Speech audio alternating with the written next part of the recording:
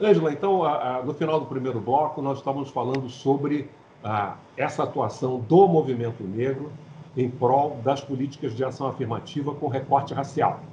E você falava aí da participação, da, da, da atuação da, da Unegro e como você participou desse processo.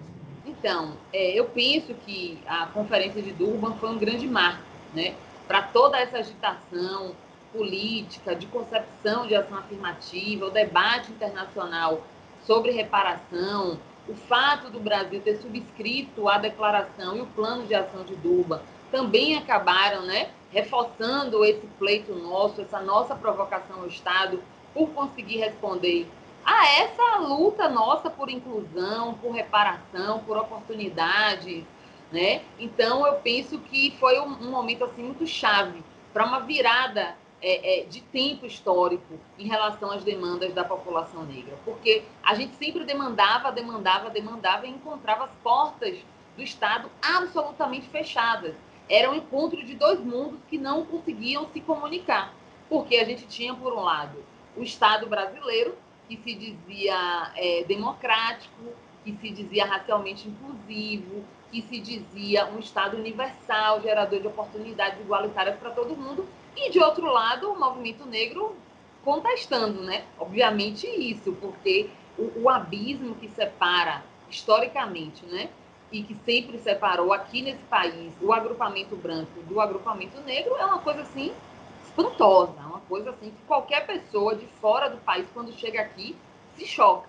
Né? Primeiro que a imagem que é vendida do país lá fora é uma imagem de um país totalmente branco. E as pessoas chegam aqui e dizem assim, como assim? Como assim no telejornal não aparece? Como assim nos filmes não aparece? Como assim nas novelas não aparece? Como assim nos artistas que viram ícones internacionais isso não aparece? E a gente tem essa presença aqui marcante. Eu costumo dizer assim que o Brasil ele deve muito ao movimento negro, porque é, a história oficial contada ela é uma grande mentira, ela impossibilita que as pessoas acessem a real história do país. Então, o movimento negro ele veio de forma crítica, botando o dedo na ferida, é, questionando o Estado, é, exigindo reparação, exigindo política pública. E eu considero que o início dos anos 2000 foi um momento assim muito marcante e que acabou jogando papel na primeira eleição de Lula, sim, e depois na agenda aqui um primeiro governo progressista, com vínculo com os movimentos sociais, conseguiu implementar porque vem desse caldo histórico acumulado, desses sujeitos e dessas sujeitas que apontaram as necessidades e apontaram também os caminhos. Então, a CEPI, ela não surge de um decreto. A CEPI surge de um conjunto de lideranças, de coletivos do, do movimento negro, que elaboraram, inclusive, a proposta que virou a criação, a lei que criou, de fato, a CEPI que veio a CEPI, que veio o Conselho de Igualdade Racial, o Plano Nacional de Política de Igualdade Racial, uma proposta de Estatuto da Igualdade Racial que ficou longos anos tramitando é, na Câmara, a própria proposta de cotas, não é? A proposta de cotas no serviço público. Então, a elaboração do movimento negro brasileiro é muito rica. Ela serve, inclusive, para o Brasil se reencontrar com sua verdadeira face para a gente superar a farsa contada do paraíso racial, da igualdade, de que está tudo muito bem, que nessas novelas que passam por aí. Essa cordialidade, essa passividade que nunca existiu. Né? É uma história que foi é, é, construída à base de vários banhos de sangue. Né? A escravidão, o tráfico negreiro, a violência sistemática, o genocídio negro e indígena, o estupro colonial. Essas são as faces verdadeiras da história do Brasil. E aí é, é muito interessante, Ângela. É, eu tive essa experiência mais atrás, mas você tem, também vivenciou isso. É, quando nós chegamos hoje à universidade, eu acabei de é, concluir o meu doutorado no ano passado na, na Universidade Federal do Rio de Janeiro. Quando a gente vê o número de alunos negros, tanto de graduação quanto de pós-graduação, quando, no meu caso, eu era o único da faculdade, o único homem negro da faculdade, a gente vê que a coisa pelo menos nesse sentido, avançou bastante. Né? Avançou, avançou e muito. A paisagem da universidade é outra. A ambiência da universidade, a quantidade de produção intelectual negra é um negócio assim que chama atenção pela qualidade, pela diversidade, pelo volume, pela expressividade. Eu lembro que quando eu, eu entrei no movimento estudantil, no início dos anos 2000, a gente fez a primeira semana de consciência negra do meu curso, o curso de Ciências Sociais da UFBA. E nessa primeira semana, a gente contava nos dedos as professoras e professores negros para convidar, porque a gente achava assim uma oportunidade de visibilizar esses é, docentes e essas docentes negras. Era tinha que repetir as pessoas, né? Em cinco dias de atividade, tinha que ficar repetindo as pessoas. A professora dizia, mas não posso ter uma aula, vou ter que desmarcar, porque de tão poucas que eram, né? E pouquíssimos também estudantes. Essa realidade do ponto de vista dos estudantes avançou bastante, né? A partir das primeiras políticas afirmativas implementadas, mas nós ainda temos uma tarefa, né? De enegrecer a docência superior das universidades brasileiras, né? ainda é, os mecanismos de exclusão ainda continuam muito ativos. Essa semana eu estava numa discussão da Comissão de Políticas Afirmativas da Universidade aqui do Sul da Bahia, Federal do Sul da Bahia. E lá eles aplicam, elas, no caso, é, é a única reitora negra de Universidade Federal hoje no Brasil, Quem é? que é a professora Joana Angélica Guimarães. Né? Nós, inclusive, da Unegro, trouxemos ela aqui em 2019 para um debate em Salvador, justamente para é, problematizar essa ausência de professoras negras, ela, ela, ela tem um mecanismo lá muito interessante que eles faz, elas fazem concurso para docente é, agrupadas vagas para o percentual obrigatório de reserva de vagas incluir, incidir sobre o conjunto, o universo das vagas. Porque quando cada departamento faz o concurso individual, departamento de história, uma vaga, não tem como incidir a cota. Então, lá elas implementaram isso e tem um monte de professor entrando nas, nas altas cortes para contestar esse sistema. E a gente está aqui fazendo uma linha de frente de defesa, de permanência desse mecanismo, porque é o mecanismo que tem possibilitado que, de fato, essa universidade tenha 30% de docentes negras e negros. Você também tem atuado na área pública, tanto nas esferas municipal, estadual, federal. Quais foram ah, as grandes possibilidades e os grandes obstáculos que você viu nesse percurso? Vou começar pelos obstáculos, viu? Que é mais fácil lembrar.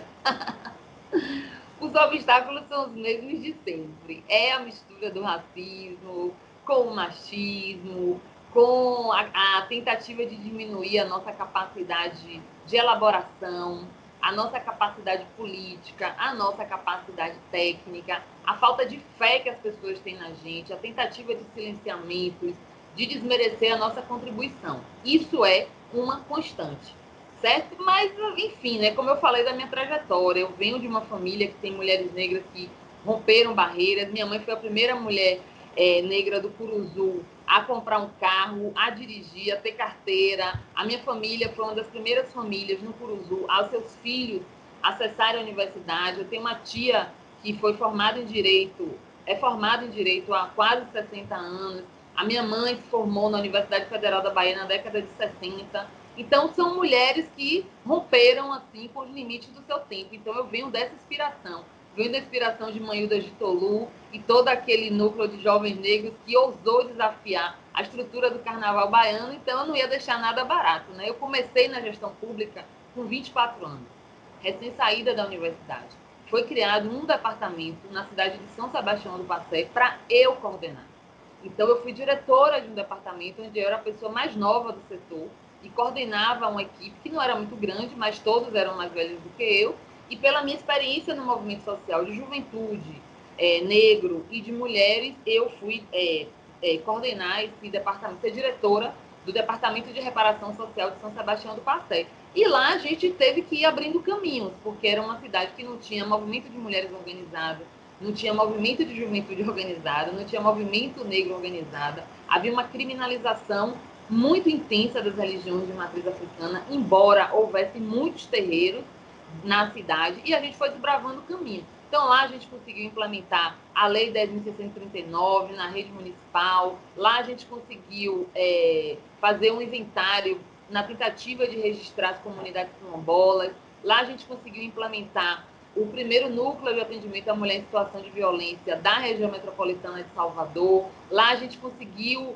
é, trazer um polo da Universidade Aberta do Brasil para o município. Lá a gente conseguiu remontar todos os grêmios da cidade, estruturar um Conselho Municipal de Juventude. Então, foi enfrentando, enfrentando a cultura política atrasada, enfrentando o racismo, enfrentando o sexismo, metendo as caras, conversando com muita gente, fazendo muito processo participativo, fazendo muito seminário, fazendo conferência, dialogando, né? A gente estava ali no governo Lula também, o que facilitava. Então, o nosso trânsito com Brasília era um trânsito muito intenso, com a CEPI, com a Secretaria Nacional de Juventude, com a Secretaria de Política para as Mulheres, que eram os três órgãos com os quais eu me relacionava de forma cotidiana. Né? Então, tendo uma ambiência é, de um governo progressista e enfrentando os percalços do dia a dia, eu acredito que foi assim que eu consegui naquela primeira experiência. E depois, de fato, é, acabei enfrentando outros desafios, ajudei a montar o Conselho Estadual de Política de Juventude aqui na Bahia, a primeira coordenação estadual de política de juventude. Eu coordenei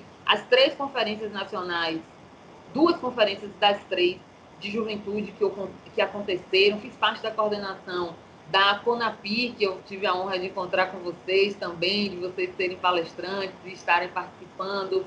É, coordenei e ajudei a estruturar o plano é, Juventude Viva, ajudei na articulação do Estatuto da Juventude, do Estatuto da Igualdade Racial, é, da Lei do Feminicídio, da, da, Lei de Cotas no Serviço Público. Enfim, implementei apenas aqui na Bahia várias coisas também. Né? Ajudei aqui na implementação da Agenda Bahia do Trabalho Decente, coordenei o primeiro Fórum Baiano da Diversidade no mundo do trabalho. Trabalhei uma época assessorando a vereadora Olivia Santana, onde a gente teve conquistas legislativas importantes, como a lei que criou o Dia Municipal de Combate à Intolerância Religiosa. Enfim, é mil coisas. Eu gosto muito, assim, gostei muito, assim, tenho gostado muito das minhas experiências na gestão pública. Até algum tempo atrás, havia setores, e setores importantes da esquerda, que eram contra a simples discussão da questão racial, porque isso iria dividir a classe trabalhadora. E hoje nós temos setores da esquerda que se posicionam contra aquilo que eles chamam de identitarismo, que são exatamente as lutas dos negros e das mulheres, porque isso dividiria a esquerda. O que você acha disso? o que eu acho disso é impublicável, mas vamos lá. Vou tentar falar uma resposta educada. Bom, eu, eu penso que esse tipo de posicionamento, em pleno século XXI, diante de tudo que o mundo vem passando, diante da, da ascensão das lutas antirracismo em termos globais, é, em relação também com a ascensão das lutas feministas em termos globais, só pode ser ignorância ou má fé. Como eu acho que não é ignorância, eu considero como má fé porque é uma falta de vontade muito grande em acessar toda a produção que o movimento negro e feminista disponibilizou para a sociedade e que são ancoradas em pesquisas bastante densas e bastante conhecidas, né? As pessoas acham que nós, mulheres negras, que a população negra, nós achamos assim super legal, interessante, bater no peito, dizer que a gente sofre uma tripla discriminação. Não é, eu não gostaria. Eu não gostaria de ter que me esforçar três vezes mais para poder provar que eu sou competente em alguma coisa. Porque eu acho que só eu chegando a pessoa já sente a potência e a pressão. Porque com as pessoas brancas é assim, com os homens brancos é assim. Ninguém duvida de um homem branco, engravatado, com o cabelo cheio de gel, chegando em algum lugar. Mas uma mulher negra chegando afirmada em qualquer lugar com um discurso na ponta da língua, você fala, mas é mesmo? É isso mesmo? Você foi mesmo? Você fez mesmo? É sempre esse ar de dúvida. E o fato é que eu chamo de ignorância porque as pessoas não reconhecem o processo de formação histórica do Brasil.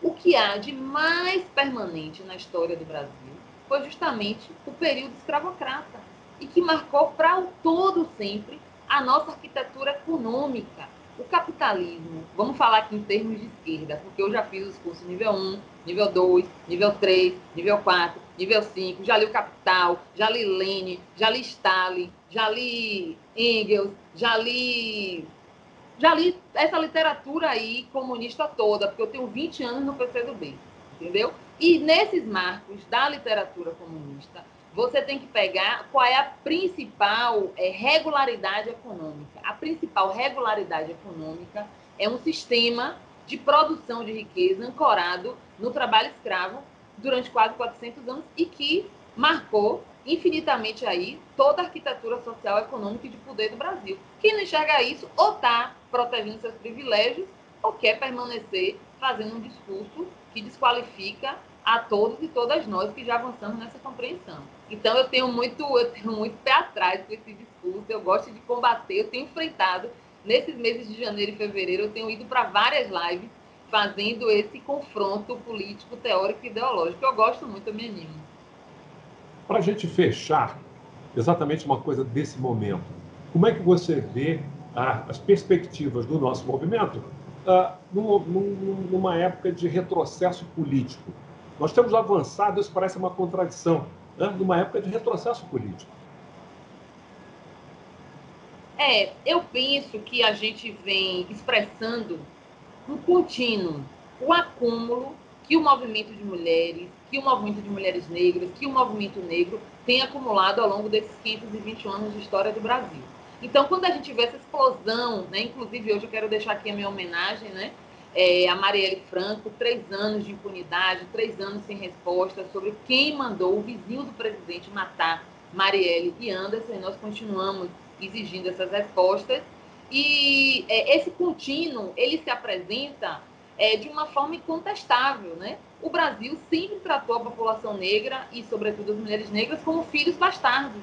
Não, não fez uma transição para do sistema escravista para o chamado trabalho livre, incorporando essas pessoas, nos negou a possibilidade de adentrar a educação, de adentrar esse mercado de trabalho livre, de praticar a nossa religiosidade, de expressar a nossa cultura, sempre nos combateu, sempre nos perseguiu, sempre dificultou é, o nosso acesso. E essa revolta, que ela é tanto dos grandes episódios da nossa história, os quilombos, como o quilombo dos Palmares, o quilombo do Quariterê, as revoltas, as rebeliões, como a revolta dos Búzios, a revolta dos Malês, e essa resistência cotidiana, ela vem se acumulando. É uma resistência das mulheres negras que criam seus filhos sozinhas, que são trabalhadoras domésticas, que uma junta um pouquinho com a outra, fazem os caixas e compram a casa e lutam para botar seu filho na universidade, das baianas de Acarajé e de toda essa massa negra que às vezes não acessou nem o mercado de trabalho formal, está na informalidade, mas está batalhando para criar e sustentar